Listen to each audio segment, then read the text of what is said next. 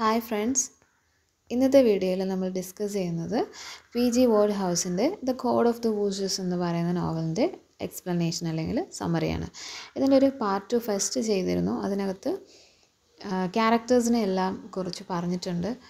അപ്പോൾ ആ video കാണാത്തവരാണെങ്കിൽ just അത് കണ്ട് എല്ലാ ക്യാരക്ടേഴ്സും ഒന്ന് നല്ലതുപോലെ മനസ്സിലാക്കിയിട്ട് വരിക. കാരണം ഇതിനകത്ത് എക്സ്പ്ലനേഷൻ പറയുമ്പം ഇൻസിഡൻസ് ഒക്കെ കുറച്ച് കൺഫ്യൂസിങ് ആയിട്ട് തോന്നും. അപ്പോൾ നല്ലതുപോലെ ക്യാരക്ടേഴ്സിനെ കുറിച്ച് ഒരു ക്ലിയർ പിക്ചർ കിട്ടിയാൽ മാത്രമേ നമുക്ക് ഈ ഒരു എക്സ്പ്ലനേഷൻ പറയുമ്പോൾ മനസ്സിലാവത്തുള്ളൂ. അപ്പോൾ ഒരുപാട് കൺഫ്യൂസിങ് ആയിട്ടുള്ള ഇൻസിഡൻസ് ഒരു ചെയിൻ പോലെ പോകുന്ന രീതിയിലാണ് ഇതിനകത്ത് മാറ്റർ പറഞ്ഞിരിക്കുന്നത് നോവലിസ്റ്റ് അപ്പോൾ ആ ഫസ്റ്റ് പാർട്ട് കാണാത്തവരുണ്ടെങ്കിൽ ജസ്റ്റ് ഒന്ന് കണ്ടിട്ട് വരിക. അപ്പോൾ ഇതിനകത്ത് നമ്മൾ ഇന്നിപ്പോൾ അതിന്റെ എക്സ്പ്ലനേഷൻ പറയുകയാണ് ജീവ്സ് ഒരു വേൾഡ് ക്രൂയിസിന് പോകാൻ വേണ്ടിയിട്ട് ജീവ്സിന്റെ മാസ്റ്ററായ ബെർട്ടിയെ പേഴ്സ്യൂഡ് ചെയ്യുകയാണ്. നമ്മൾ കഴിഞ്ഞ ക്ലാസ്സിൽ പറഞ്ഞിരുന്നു ജീവ്സ് എന്ന് പറയുന്നത് ഒരു ബെർട്ടിയുടെ ഒരു പേഴ്സണൽ അറ്റൻഡന്റാണ് അപ്പോൾ ജീവ്സ് ബെർട്ടിയെ പേഴ്സ്യൂഡ് ചെയ്യുകയാണ് അവർ ഒരു വേൾഡ് ക്രൂയിസിന് പോകാൻ വേണ്ടിയിട്ട്. പക്ഷേ അതിന് പകരം ബെർട്ടി വൂസ്റ്ററിന്റെ ആന്റിയായ ഡാലിയ ബെർട്ടിയെ ഒരു പ്രത്യേക ആന്റിക് ഷോപ്പിലേക്ക് വിടുകയാണ്. എന്തിനാണെന്ന് വെച്ചാൽ ഒരു eighteenth century silver cow creamer നേടിയെടുക്കാൻ വേണ്ടിയിട്ട്. അപ്പോൾ നമ്മൾ കഴിഞ്ഞ ക്ലാസ്സിൽ പറഞ്ഞിരുന്നു കൗ ക്രീമർ എന്താണ് എന്ന് പറഞ്ഞിരുന്നു. എന്തിനാണ് ഇവർ ഈ ആന്റിക് ഷോപ്പിലേക്ക് പോകുന്നതിന്റെ റീസണൊക്കെ പറഞ്ഞിരുന്നു. അപ്പോൾ ഓൺ ഡാലിയയുടെ ഹസ്ബൻഡ് ടോമിന് ആന്റിക് സിൽവർ കളക്ഷൻസ് അദ്ദേഹത്തിന്റെ ഒരു ഹോബിയാണ് അപ്പോൾ ഹസ്ബൻഡിനെ ഹെൽപ്പ് ചെയ്യാൻ വേണ്ടിയിട്ടാണ് ഓൺ ഡാലിയ ബെർട്ടിയെ ഒരു eighteen century cow creamer acquire ചെയ്യാൻ വേണ്ടി പറഞ്ഞു വിടുന്നത്. അപ്പം ആ ഷോപ്പിലേക്ക് ചെന്നിട്ട് ബർട്ടി ചെയ്യേണ്ടത് എന്താണെന്ന് വെച്ചാൽ ആ കൗ ക്രീമറിനെ ഒന്ന് സ്നീർ ചെയ്യണം. അതായത് ഒന്ന് കളിയാക്കി ഒരു തമാശ രൂപേണ ഒന്ന് പറഞ്ഞിട്ട് വരണം. എന്നാൽ മാത്രമേ അതിനെ ഒന്ന് വില കുറച്ച് ഈസി ആക്കിയിട്ട് ടോമിന് അതിനെ അക്വയർ ചെയ്യാൻ കഴിയുള്ളൂ. അപ്പോൾ അതിന്റെ പ്രൈസ് കുറച്ച് കിട്ടാൻ വേണ്ടി ആന്റിയുടെ ഹസ്ബൻഡിന് അദ്ദേഹത്തിന്റെ ആ ഒരു ഹോബി എളുപ്പമാക്കി കിട്ടാൻ വേണ്ടിയിട്ടാണ് ഓൺ ഡാലിയ ബെർട്ടിയെ ആ ഷോപ്പിലേക്ക് പറഞ്ഞു വിടുന്നത്. അപ്പോൾ ആ ഷോപ്പിൽ വെച്ചിട്ട് ബർട്ടി മജിസ്ട്രേറ്റ് ആയ സർ വാറ്റ്കിൻ ബാസറ്റിനെ കണ്ടുമുട്ടുന്നു. അദ്ദേഹവും ഒരു സിൽവർ ആന്റിക് കളക്ഷൻ ചെയ്യുന്ന ഒരാളാണ്. അതുപോലെ തന്നെ ഒരു ഫാസിസ്റ്റ് ഓർഗനൈസേഷന്റെ ലീഡറായ റോഡറിക് സ്പോഡിനെയും ആ ഒരു ഷോപ്പിൽ വെച്ചിട്ട് സർ വാട്കിനോടൊപ്പം തന്നെ ബർട്ടി കാണുന്നുണ്ട്. കാരണം എന്ന് പറഞ്ഞാൽ റോഡ്രിക്സ് ഫോർഡിന്റെ നമ്മൾ കഴിഞ്ഞ ക്ലാസ്സിൽ ക്യാരക്ടേഴ്സ് പറഞ്ഞപ്പോൾ പറഞ്ഞിരുന്നു സർ വാട്കിൻ ഒരു വിഡോയുമായിട്ട് മാരി ചെയ്യാനായിട്ട് എൻഗേജ്ഡാണ്. അത് റോഡ്രിക്സ് ഫോർഡിന്റെ ആന്റിയാണ്. അപ്പോൾ റോഡ്രിക്സ് ഫോർഡ് എന്ന് പറയുന്നത് സർ വാട്കിന്റെ ഒരു ഫ്യൂച്ചർ നെഫ്യൂ ഇൻ ലോയാണ്. അതുകൊണ്ടാണ് അവർ തമ്മിൽ ഒരുമിച്ച് ആ ഒരു ഷോപ്പിലേക്ക് പോകുന്നതും ബെർട്ടി അവിടെ വെച്ച് അവരെ രണ്ടുപേരെയും കാണുന്നതും. പിന്നീട് ബർത്തി മനസ്സിലാക്കുന്നുണ്ട് ടോമിന് ഒരു ഒരു ട്രിക്ക് പ്ലേ ചെയ്യുന്നതിലൂടെ sir Watkin creamer cow creamer അദ്ദേഹത്തിൽ നിന്ന് നേടിയെടുക്കുന്നുണ്ട്. അപ്പോൾ ടോമിനോട് ഒരു ഒരു ട്രിക്ക് പ്ലേ ചെയ്യുന്നതിലൂടെ ആ കൗ ക്രീമർ സർ വാറ്റ്കിൻ നേടിയെടുക്കുകയാണ്. അപ്പം ഓൺഡ് ഡാലിയ ബെർട്ടിയെ പിന്നീട് ടോട്ടലൈറ്റ് ലൈറ്റ് പറഞ്ഞു വിടുവാണ് നമുക്കറിയാം ടോട്ടൽ ലൈറ്റ് അവേഴ്സിന്റെ ഓണർ ആരാണ് സർ വാറ്റ്കിൻ ആണ് ടോട്ടലൈറ്റ് അവേഴ്സിന്റെ ഓണർ. അപ്പം ഓൺ ഡാലിയ ബെർട്ടിയെ പിന്നീട് പറഞ്ഞു വിടുന്നത് കൗ ക്രീമർ നേടിയെടുക്കാൻ വേണ്ടിയിട്ട് ടോട്ടലൈറ്റ് അവേഴ്സിലേക്ക് പറഞ്ഞു വിടുവാണ് അത് തട്ടിയെടുത്തുകൊണ്ട് വരാനായിട്ടാണ് ബെർട്ടി അങ്ങോട്ടേക്ക് വിടുന്നത്. പക്ഷേ അവിടെ വെച്ചിട്ട് ബെർട്ടിക്കൊരു സസ്പീഷൻ ഉണ്ടാകുന്നുണ്ട് കാരണം സർ വാഡ്കിൻ ഒരു ഡ്രങ്കൺ ഒഫൻസിൽ ഒരിക്കൽ കുറ്റ ആരോപിതൻ ആയിട്ടുണ്ട്. പിന്നെ രണ്ടാമതൊരു റീസൺ എന്ന് പറയുന്നത് അവിടേക്ക് പോകാനുള്ളത്. ബെറ്റിയുടെ രണ്ടാമത്തെ റീസൺ. സർ വാഡ്കിന്റെ മകളായ മാഡ്ലിനും ഗുസി ഫിങ് നോട്ടിലും തമ്മിലുള്ള ഒരു ബ്രേക്കപ്പ് ഹീൽ ചെയ്യാൻ വേണ്ടിയിട്ട് കൂടിയിട്ടാണ് ബെർട്ടി അവിടെ പോകുന്നത്. അപ്പം ബെർട്ടി വിശ്വസിക്കുന്നതെന്ന് വെച്ചാൽ മാഡ്ലിൻ അവനെ സ്നേഹിക്കുന്നുണ്ട് എന്ന് വിശ്വസിക്കുകയാണ് തെറ്റിദ്ധരിക്കുകയാണ്. കൂടാതെ അവളുടെ വിവാഹ നിശ്ചയം തടസ്സപ്പെടുകയാണെങ്കിൽ മാഡ്ലിന്റെ വിവാഹ നിശ്ചയം തടസ്സപ്പെടുകയാണെങ്കിൽ അവനെ വിവാഹം ചെയ്യാമെന്ന് മാഡ്ലിൻ പ്രോമിസ് ചെയ്യുന്നുണ്ട്. അപ്പം ഏത് വിധേനയും ഇത് അവോയ്ഡ് ചെയ്യാൻ വേണ്ടിയിട്ട് ബെർട്ടി മാഡ്ലിനെ പേഴ്സ്യൂഡ് ചെയ്യുന്നുണ്ട്. കാരണം എന്ന് പറഞ്ഞാൽ ബെർട്ടിയുടെ ആവശ്യം ഗുസി അവിടെ കൊണ്ടുവന്ന് അവർ തമ്മിലുള്ള ആ പ്രശ്നം ഒരു ബ്രേക്കപ്പിനെ പരിഹരിച്ചു കൊണ്ടുപോകണം. പക്ഷേ പിന്നീട് ബർട്ടി പതിയെ മനസ്സിലാക്കുന്നുണ്ട് ഗുസ്സിയും മാഡ്ലിനും തമ്മിൽ ഫ്രണ്ട്ലി റിലേഷനിൽ വീണ്ടും ആയി എന്ന് ബർട്ടി മനസ്സിലാക്കുന്നുണ്ട്. അപ്പോൾ അവർ തമ്മിലുള്ള ബ്രേക്കപ്പിന്റെ കാര്യങ്ങളും പ്രശ്നങ്ങളൊക്കെ സോൾവായി പിന്നീട് പറയുന്നതെന്ന് വെച്ചാൽ വരാനിരിക്കുന്ന ഒരു സ്പീക്കിംഗ് എൻഗേജ്മെന്റിന് വേണ്ടിയിട്ട് തയ്യാറെടുക്കാൻ വേണ്ടി കുറച്ചും കൂടെ ഒന്ന് ആ ഒരു സ്പീച്ചിൽ കോൺഫിഡന്റ് ആകാൻ വേണ്ടിയിട്ട് ഗുസ്സി ഒരു നോട്ട്ബുക്ക് കീപ്പ് ചെയ്യുന്നുണ്ട്. പക്ഷേ അതിനകത്ത് സർ വാഡ്കിനെയും റോഡ്രിക്സ് റോഡ്രിക് സ്പോർഡിനെയും കുറിച്ച് കുറേ ഇൻസൾട്ട്സ് ഒക്കെ ഗുസ്സി എഴുതി വെക്കുന്നുണ്ട്. അപ്പോൾ ഗുസ്സി വിവാഹം ചെയ്യാൻ പോകുന്നതിൽ ഈ ഒരു ബുക്ക് കുറച്ച് പ്രശ്നമായിട്ട് വരും ഭാവിയിൽ. പക്ഷേ ആ നോട്ട് ബുക്ക് ഗുസ്തിയുടെ കയ്യിൽ നിന്ന് നഷ്ടപ്പെടുകയാണ്. അതിനെ തുടർന്ന് ബെർട്ടിക്ക് ഭയം ഉണ്ടാവുന്നുണ്ട്. ഈ ബുക്ക് സർ വാഡ്കിന്റെ കൈകളിൽ അകപ്പെട്ടാൽ ഗുസ്സിയെ വിവാഹം കഴിക്കുന്നതിൽ നിന്നും മാഡ്ലിനെ അദ്ദേഹം വിലക്കും. പക്ഷെ ആ ബുക്ക് കണ്ടെത്തുന്നത് സ്റ്റിഫി ബിങ് ആണ്. അത് സർ വാഡ്കിന്റെ നീസാണ് അപ്പോൾ ഈ ബുക്ക് ഗുസിയിൽ നിന്ന് നഷ്ടപ്പെടുന്നു. അതിനകത്ത് സർ വാഡ്കിനെ കുറിച്ചൊക്കെയുള്ള ഇൻസൾട്ട് ഉണ്ട്. പക്ഷേ അത് സർ വാഡ്കിന്റെ കയ്യിൽ എത്തിയാൽ മാഡ്ലിനുമായിട്ടുള്ള വിവാഹം നടക്കില്ല എന്ന് ഗുസിയും മാഡ്ലിനുമായിട്ടുള്ള വിവാഹം നടക്കില്ല എന്ന് ബർട്ടി ഭയപ്പെടുകയാണ് പക്ഷേ ആ ബുക്ക് എത്തിച്ചേരുന്നത് മാഡ്ലിന്റെ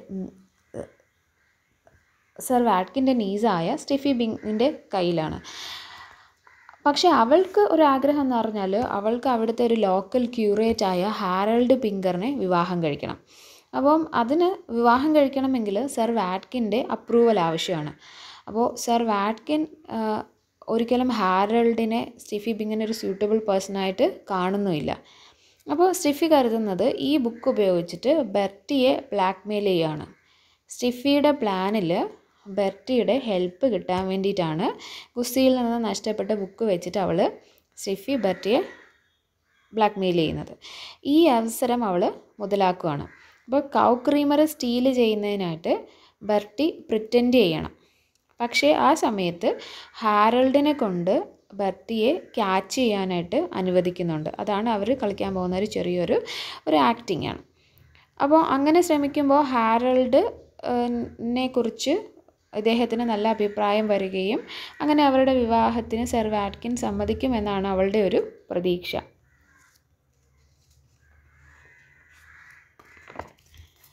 ഗുസ്സി മിസ്സിംഗ് നോട്ട്ബുക്കിന് വേണ്ടിയിട്ട് സ്റ്റിഫിയെ സെർച്ച് ചെയ്യുകയാണ് അപ്പോൾ മാഡ്ലിൻ അവന്റെ ഈ ആക്ഷൻസിനെ ഗുസ്സിയുടെ ഈ ആക്ഷൻസിനെ മിസ്ഇന്റർപ്രറ്റ് ചെയ്യുകയാണ്. കാരണം സ്റ്റെഫിയെ അവൻ സെർച്ച് ചെയ്യുകയാണ് അപ്പോൾ അതിൽ മാഡ്ലിൻ ഇഷ്ടപ്പെടുന്നില്ല. അങ്ങനെ അവന്റെ ഗുസ്സിയുടെ ആക്ഷൻസിൽ മിസ്ഇന്റർപ്രറ്റ് ചെയ്തിട്ട് അവർ തമ്മിലുള്ള എൻഗേജ്മെന്റ് അങ്ങനെ ബ്രേക്ക് ആവുകയാണ് ഗുസ്സിയും മാഡ്ലിനുമായിട്ടുള്ള എൻഗേജ്മെന്റ് ആണ്. അപ്പോൾ സ്പോഡിന് റോഡ്രിക് സ്പോഡിന് ഒരുതരം ഭയങ്കര സ്ട്രോങ് ആയിട്ടുള്ള ഒരു പ്രൊട്ടക്റ്റീവ് ഫീലിംഗ് ആണ് മാഡ്ലിനോടുള്ളത്. അതുകൊണ്ട് അവൻ ഗുസ്സിയെ ആക്രമണ മനോഭാവത്തോടെ ത്രട്ടൺ ചെയ്യാണ് ഭീഷണിപ്പെടുത്തുന്നുണ്ട്. പക്ഷേ ജീവ്സ് ലണ്ടൻ ക്ലബിൽ നിന്നും ഒരു കാര്യം മനസ്സിലാക്കുന്നുണ്ട്. റോഡ്രിക് ബോർഡിന് ഒരു ഷെയിംഫുൾ ആയിട്ടുള്ളൊരു സീക്രട്ട് ഉണ്ട്. ക്ലബിന്റെ റൂൾസ് പ്രകാരം പക്ഷേ അത് ജീവ്സിന് റിവീൽ ചെയ്യാൻ പറ്റുന്നില്ല. പക്ഷേ ബെർട്ടിയോട് ഈ ഒരു കാര്യത്തെക്കുറിച്ച് ഇൻഫോം ചെയ്യുന്നുണ്ട്. യുലാലി എന്ന നെയിം കൊണ്ട് സ്പോഡിനെ കൺട്രോൾ ചെയ്യാൻ കഴിയുമെന്ന് ജീവ്സ് ബെർട്ടിയോട് പറയുവാണ്. കളിയാക്കിക്കൊണ്ട് ബെർട്ടി സ്പോഡിനെ വഴക്ക് പറയുകയും ഗുസ്സീനെ ഒറ്റയ്ക്ക് വിടാൻ പറയുകയും ചെയ്യുന്നുണ്ട്. അതിനെ തുടർന്ന് റോഡ്രിക് സ്പോഡ് പിന്മാറുകയും അവന്റെ സ്വഭാവത്തിൽ അവൻ കാണിച്ച ആ ഒരു പ്രവൃത്തിയിൽ റോഡ്രിക് സ്പോഡ് അപ്പോളജി ചെയ്യുന്നുണ്ട് ഗുസ്സിയോട് അപ്പോളജി ചെയ്യുന്നുണ്ട്. പിന്നെ നമുക്ക് കാണാൻ പറ്റുന്നത് സ്റ്റിഫിയെ ഇംപ്രസ് ചെയ്യാൻ വേണ്ടിയിട്ട് ലോക്കൽ പോലീസ്മാനായ കോൺസ്റ്റബിൾ ഓട്സിന്റെ ഹെൽമെറ്റ് സ്റ്റീൽ ചെയ്യാൻ ഹാരൾഡിനെ പേഴ്സ്വേർഡഡ് ആക്കുവാണ്. അപ്പോഴാണ് ജീവ് ഒരു പുതിയ പ്ലാൻ സജസ്റ്റ് ചെയ്യുന്നത്. ബെർട്ടി സർ വാഡ്കിനോട് പറയാൻ പോകുന്നത് അവൻ സ്റ്റിഫിയോട് എൻഗേജ്ഡ് ആണെന്ന് അതായത് ബെർട്ടി സ്റ്റിഫിയുമായിട്ട് എൻഗേജ്ഡ് ആണ് എന്ന് സർ വാട്കിനോട് ബെർട്ടി തന്നെ പറയണം. അപ്പോൾ സർ വാട്കിന് ഒരുപാട് ആശ്വാസമാകുന്നുണ്ട് കാരണം എന്ന് വെച്ചാൽ സ്റ്റിഫിക്ക് ലോക്കൽ ക്യൂറേറ്റിനെ മാരേജ് ചെയ്യാനാണ് ആഗ്രഹം. പക്ഷേ അത് സർ വാട്കിന് അപ്രൂവ് ചെയ്യാൻ കഴിയത്തില്ല. അപ്പോൾ ബെർട്ടിയും സ്റ്റിഫി ബിങ്ങും തമ്മിൽ എൻഗേജ്ഡ് ആണെന്ന് പറയുമ്പോൾ അദ്ദേഹത്തിനൊരു ആശ്വാസം സർ വാറ്റ്കിനൊരു ആശ്വാസമാവാണ്. അങ്ങനെ ആ പ്ലാൻ അവരുടെ ആ ഒരു പ്ലാനിങ് വർക്കാവുന്നുണ്ട്. അപ്പോൾ സ്റ്റിഫി ബെർട്ടിയോട് പറയുന്നുണ്ട് അവൾ നോട്ട്ബുക്ക് കൗ ക്രീമറിൽ ഒളിച്ചു വെച്ചിട്ടുണ്ടെന്ന്. അപ്പോൾ സ്റ്റിഫിയുടെയിലാണ് ഗുസ്സിയുടെ കയ്യിൽ നിന്ന് നഷ്ടപ്പെട്ട ബുക്ക് കിട്ടിയത്. അപ്പോൾ സ്റ്റിഫിയുടെയിലാണ്. അപ്പോൾ സ്റ്റിഫി ബെർട്ടിയോട് പറയുകയാണ് അവൾ ആ നോട്ട്ബുക്ക് കൗ ക്രീമറിൽ ഒളിപ്പിച്ചു വെച്ചിട്ടുണ്ടെന്ന്. അങ്ങനെ ഗുസ്സിയുടെ ആ ഒരു പ്രവൃത്തി ഉണ്ടല്ലോ ഗുസ്സി സ്റ്റിഫിയെ സെർച്ച് ചെയ്ത ആ ഒരു ആക്റ്റിൽ ഡിസ്കസ് അങ്ങനെ ഗുസ്സിയുടെ ആ ഒരു ഇൻഫെഡലിറ്റിയിൽ ഡിസ്കസ്ഡ് ആയിട്ട് മാഡ്ലിൻ ബെറ്റയോട് പറയുന്നുണ്ട് അവൾ അവനെ മാരി ചെയ്യുമെന്ന് ബെറ്റി പക്ഷേ ആ ഒരു നോട്ട്ബുക്ക് തിരികെ എടുത്ത് ഗുസ്സിക്കാണ് കൊടുക്കുന്നത്. എന്തിനു വേണ്ടിയാന്ന് വെച്ചാൽ അവൻ ഗുസ്സി സ്റ്റിഫിയോട് കാണിച്ചതിന് ഒരു എക്സ്പ്ലനേഷനായിട്ട് മാഡ്ലിനെ കാണിക്കാൻ വേണ്ടിയിട്ട്. അപ്പോൾ ബർട്ടി ഗുസ്സിയെ ഹെൽപ്പ് ചെയ്യുകയാണ്. പക്ഷേ സർ വാഡ്കിനോട് ഒരു ആർഗ്യുമെന്റിൽ ഏർപ്പെടുന്നതിലൂടെ ഗുസ്തി എന്ത് ചെയ്യും? സർ വാഡ്കിന് ഇൻസൾട്ടായ ആ നോട്ട്ബുക്ക് അദ്ദേഹത്തിന് തന്നെ സപ്ലിമെന്റ് ചെയ്യുകയാണ് അങ്ങനെ സർ വാഡ്കിൻ ഒരിക്കലും റിലന്റ് ആകില്ല. അതായത് അദ്ദേഹത്തിന്റെ ഒരു ഹാർഷ് ആറ്റിറ്റ്യൂഡ് ഉണ്ട് സർ വാഡ്കിന് അതൊരിക്കലും കുറയില്ല എന്നും കൗ ക്രീമർ സ്റ്റീൽ ചെയ്യുന്നതിലൂടെ മാത്രമേ സർ വാഡ്കിനെ കമ്പൽ ചെയ്യാൻ പറ്റൂ എന്നും ബെർട്ടി മനസ്സിലാക്കുവാണ്. അങ്ങനെ മാഡ്ലിൻ ഗുസ്സിയെ വിവാഹം ചെയ്യിപ്പിക്കാൻ സർ വാറ്റ്കിനെ അപ്രൂവ് ചെയ്യാൻ ഒരു റാൻസം ആക്കിയിട്ട് അതായത് ബ്ലാക്ക് മെയിൽ ചെയ്തൊരു മറിവിലേക്കാക്കിയിട്ട് ഈ ഒരു കൗ ക്രീമറിനെ യൂസ് ചെയ്യാം എന്നുള്ളൊരു രീതിയിലേക്ക് ബർട്ടി ചിന്തിക്കുകയാണ്. അപ്പോൾ ഗുസ്സിയുടെയും മാഡ്ലിന്റെയും വിവാഹം സർ വാറ്റ്കിനെ കൊണ്ട് സമ്മതിപ്പിക്കാൻ വേണ്ടിയിട്ട് ഈ കൗ ക്രീമർ അദ്ദേഹം നിന്ന് അടിച്ചു മാറ്റാനായിട്ട് ശ്രമിക്കുകയാണ് ബർട്ടി. പക്ഷേ അതിന് പകരമായിട്ട് ഓണ്ട് ഡാലിയ കൗ ക്രീമർ മോഷ്ടിക്കുകയാണ് അതിനിടയ്ക്ക്. എന്നിട്ട് ബർട്ടിയുടെ കയ്യിൽ സൂക്ഷിക്കാൻ കൊടുക്കും.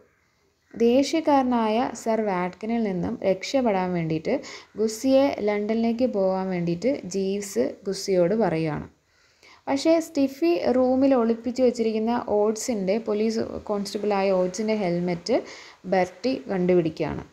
അവൻ കുറ്റം ഏറ്റെടുക്കാൻ തയ്യാറാകുന്നുണ്ട്.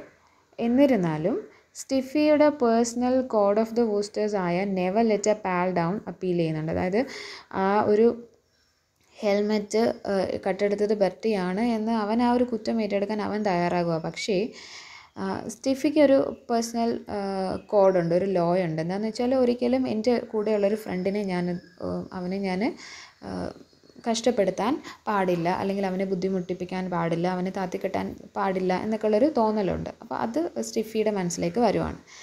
അങ്ങനെ ബർട്ടിയാണ് കൗ ക്രീമർ സ്റ്റോൾ ചെയ്തതെന്ന് പ്രൂവ് ചെയ്യാൻ കഴിയാത്തത് കൊണ്ട് സർ വാഡ്കിനെ ഹെൽമെറ്റ് മോഷ്ടിച്ചതിന് ഇംപ്രസന്റ് ആക്കുവാണ് അതിന് പകരം ജീവ്സ് എന്ത് ചെയ്യുമെന്ന് വെച്ചാൽ റോഡ്രിക്സ് ഫോർഡിനെ ബ്ലാക്ക് മെയിൽ ചെയ്യുകയാണ് യുലാലിയെ വെച്ചിട്ട്. നമ്മൾ നേരത്തെ പറഞ്ഞിരുന്നു ജീവ്സ് ബർട്ടിയോട് പറയുന്നുണ്ട് ലണ്ടൻ ക്ലബ്ബിൽ നിന്ന് വരുമ്പോൾ യുലാലി എന്ന് പറയുന്ന വേർഡ് പറഞ്ഞാൽ റോഡ്രിക്സ് ബോർഡിനെ ബ്ലാക്ക് മെയിൽ ചെയ്യാൻ കഴിയുമെന്ന്. അപ്പോൾ ഇവിടെ ജീവ്സ് റോഡ്രിക്സ് ബോർഡിനെ ബ്ലാക്ക് മെയിൽ ചെയ്യുകയാണ് യുലാലിയെ വെച്ചിട്ട്. എന്തിനു വേണ്ടിയാന്ന് വെച്ചാൽ സർ വാഡ്കിനെ അവനാണ് ഹെൽമെറ്റ് മോഷ്ടിച്ചത് എന്ന് പറയാം. സർ വാഡ്കിനോട് അവനാണ് ഹെൽമെറ്റ് മോഷ്ടിച്ചതെന്ന് പറയണം. ജീവ്സ് പിന്നീട് പോയിന്റ് ഔട്ട് ചെയ്യുന്നത് ബർട്ടിക്ക് സർ വാഡ്കിനെതിരെ കേസെടുക്കാം. ജീവ്സ് എന്നിട്ട് പോയിന്റ് ഔട്ട് ചെയ്യുകയാണ് ബർട്ടിക്ക് സർ സർ വാഡ്കിനെതിരെ കേസ് കൊടുക്കാം. കാരണം എന്ന് വെച്ചാൽ ബെർട്ടിയെ നാണം കെടുത്തിയതിന്.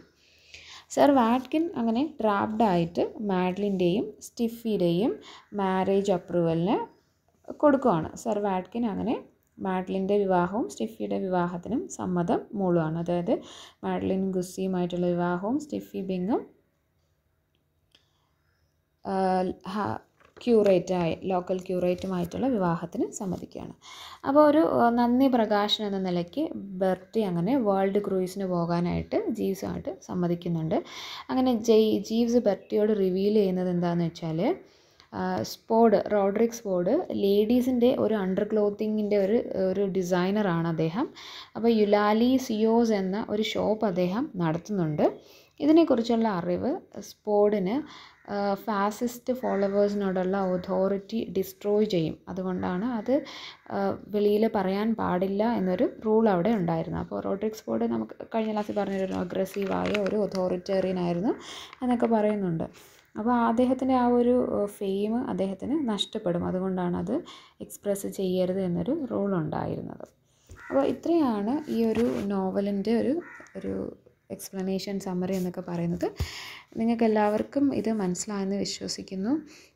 എന്റെ വീഡിയോസ് ഇൻഫോർമേറ്റീവായിട്ട് തോന്നുന്നുണ്ടെങ്കിൽ please subscribe share to your friends നിങ്ങളുടെ അഭിപ്രായങ്ങൾ കമന്റ് സെക്ഷനിൽ അറിയിക്കുക.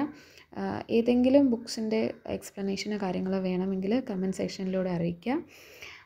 അപ്പോൾ ഇത്രയും നാൾ എന്റെ വീഡിയോസ് കണ്ടതിനും സബ്സ്ക്രൈബ് ചെയ്ത് എല്ലാവർക്കും നന്ദി പറയുന്നുണ്ട്. Okay bye thanks